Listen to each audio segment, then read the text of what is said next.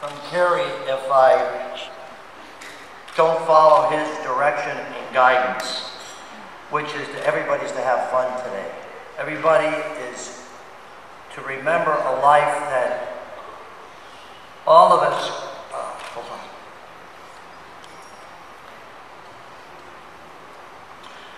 We're very fortunate to know.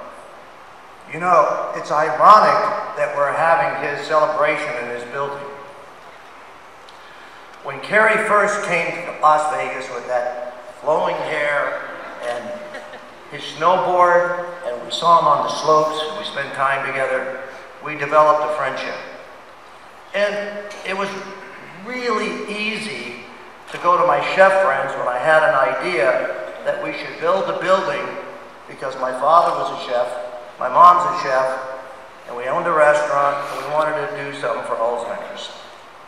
But I think all of you today, when you leave here, you have to have not about the Cleveland Clinic or the Lou Ruvo Center. This is about all of us that were in this fight. And regrettably, Kerry got in it a little bit younger than any of us had ever anticipated. But I'm just going to take you for a moment and tell you how it happened. His great friend, my friend, George Maloof, was launching Zing Vodka. Still the best tasting ever. Red velvet vodka I've ever had in my life. But we were, we were at the Maloof's apartment, condominium, and afterwards we went down to Simon. And I got up to go to the restroom and Kerry followed me. I said, you okay? He says, no, I am hurting so bad. I said, what's going on? Said, I have a urology, uh, urological problem. And well, my buddy Skip Holden, there's two great places, the Cleveland Clinic, Eric Klein or Skip Holden. Said, Larry, I gotta go. Call my doctor. Next day, Kerry flies down. The doctor calls me back and he said, your friend doesn't have a urology problem. He has a neurological problem and you need to see him at the center. Well, everybody knows what happened. He came down here at the very place that he helped with Jean-Georges and, and all those magnificent chefs at Bellagio and Prime and all of you in this room that have helped us build this building. And that's when he saw all the work that we've done, how really good this is in Las Vegas. So Kerry gets the diagnosis of Parkinson's. And we have one of the world leaders here with Dr. Walsh. So as the disease started to progress, we found out that it really wasn't just Parkinson's. It was a very aggressive form of MSA Parkinson. So as we started to look and carry, you know, all those cookbooks he has and all those recipes and everything, he wants to be the most definitive, uh, everything that he could do, he wanted to learn everything about this disease. And we helped him. But what we found out is there was very little known about this disease. And there was very little, there was not even a, a, a, record, uh, any kind of a, uh, all, all, a, directory of all the patients that have this. And there was all these little satellites and silos around the world. And through Elizabeth constantly hovering over him and friends, we found that one of the great doctors is in, of all places, Austria. So Dr. Walsh, Dr. Cummings, and our colleagues at the Cleveland forces because I said, Kerry was with me when we started this. He's not only a patient and a friend, but he was there in the very beginning. We, we just got to do whatever we can. And lo and behold, several months in this very building, because of Kerry, because of Kerry, we had 100 doctors from around the world that specialized or wanted to specialize or wanted to collaborate on MSA. And there was Kerry, he was still walking, he wasn't in a wheelchair at that time. And I said, look at this. Look what you've done. He said, I want to do more. And then, with Elizabeth's help, a lot of you came here, and we had all the rockers on stage, and Alice Cooper, and Sammy Hagar, and on and on and on. Bill Murray was here. And we raised some money, and that money helped really start a new program. And I went over to Kerry's house and his eyes were about this big. And he goes, I want to know what else we could do. He says, I had no idea how good this building was and what it's done for me. And by this time, he's now in the program with Jen Nash and all of our doctors.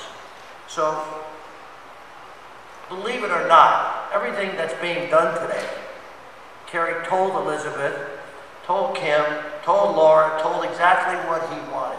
So the only thing I'm digressing a little bit is to tell you how that loving, wonderful, caring individual, he knew the end was coming.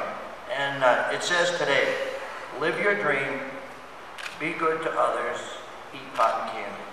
So to my friend, where's my candy?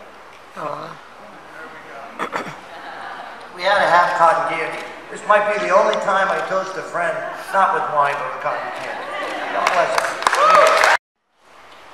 It's hard to believe. Well, first I want to um, thank 1650, Rob Wells, and our friends in La Jolla who made this extraordinary um, video for us all today. Um, it seems pretty unbelievable that it was just um, less than two years ago that we heard about this diagnosis. Um, we all learned about this hideous disease, MSA, and we heard words like terminal, incurable, fatal, and we galvanized together and um, the extraordinary efforts of uh, Larry Ruvo, the Cleveland Clinic, Anna Robbins, and so many of you that are here today, all of the chefs, all of the musicians. And we started this Fight MSA. Obviously, um, Kerry has lost this battle. So it's up to all of us to continue this war. Larry started this crime against the disease. We told Kerry, he told us that he wanted a memorial that was not sad, but frankly, I'm sorry, all the kids in this room, but this sucks, and it's sad. And so, Kerry, I'm sorry, but we'll all shed a tear for you. We'll do everything we can to continue this fight. I want to thank Larry and everyone that made this memorial possible. I want to thank the Simon family who's over here, Glenn and Doug and Scott, Shauna, Ashley, and little Sophie who's here too. Thank you for hosting this beautiful memorial. Thank you for being such loving brothers and family. And thank all of you for being here today.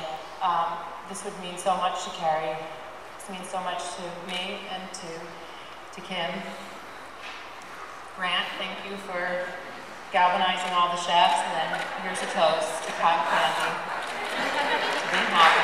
Thank you. Hello, everyone. I think by this showing, by the amount of people that are here, it pretty much says it all about Kerry, especially on a rainy Sunday, on a football Sunday. I think we should all give each other a hand. World but the inspiration that he had for everybody here. Uh, thank you, Elizabeth. That was that was great. It's uh, that video it really hits you. That music was very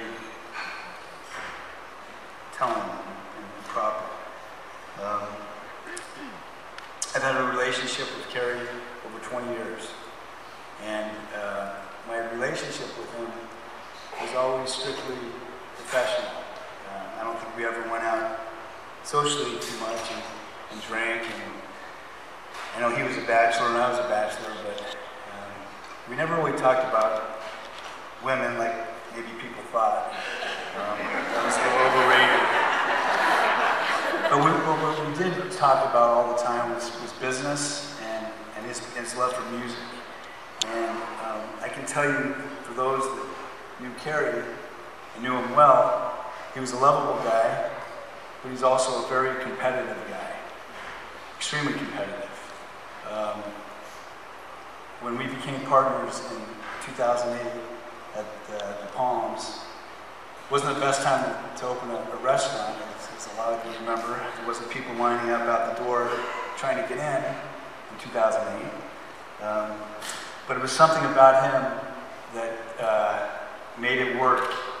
And the respect that I had for him and just the fact that he cared about his art and being a chef and his, you know, the whole process of, of his business and, you know, his employees and customers always made a, a great impression on me because uh, he, he, he was a fighter and he knew how to compete. You know, we, we would have great conversations, he and I, about how to make things better all the time. And I was so inspired by his care and his pride that he took in his, in his, in his. And uh, that was something very special. Um, we all know that Kerry loved music, particularly rock and roll music. And in today's age, that's, that's a rare, it's rare, because I think hip hop was taken over. Um, but Kerry and I had great conversations about rock, and because I have a passion for it, and he, we'd sit in this restaurant and we would talk about the most obscure bands that no one had ever heard of except him and I. And um, he would call me and he'd get so excited about not even a D-list band that was in the restaurant, maybe an E-list if that's possible. And it was just it was just a great thing how much he loved his music. And um, we had a lot of fun when, it, when it was time for the event. Um, and uh, Kerry put me in charge of, of, of the music. It was probably the funnest time I've ever had in my life, despite what we were going through with Kerry. And he, uh, he called me, it was, it was over a two week period, he gave me a list of people that he wanted to perform. And um, I had a ball calling these people up with the help of Danny Zelisko and inviting them to perform for Kerry at his, his fundraiser. And uh, it, was, it, was, it was a lot of fun. And, um, you know, his, uh, his life uh, with his business and, then facing what he had to face, uh, we know that he took it on head on, never backed down. Um, I don't know how I would have done, a lot of us don't know how we would have done, but uh, he didn't hesitate, and he was as competitive as ever, and he, he tried to fight through it. And he had a lot of people that loved him and helped him on a daily basis that should be appreciated, and Joy and the strangers, and there's a lot of other people that were there every single day for him. Um, they try to try to keep him going, and uh, they, they definitely.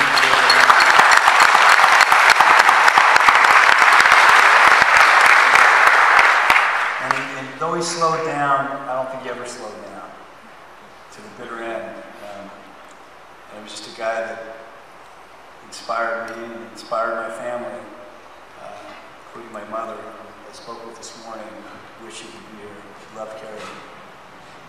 And I love the fact that Kerry always respected my family. We're sometimes demanding on our, what, our food, um, those, those of you know. But uh, Kerry always, always was positive about it. I don't know if he ran in the kitchen afterwards and went nuclear, but uh, he always seemed to, to have a great amount of respect for my family, and I'll never forget that. And a great amount of respect for our customers and our team members at the Palms. So anyway, that's all I have to say. And, uh, he's a great guy, and we're all going to miss him.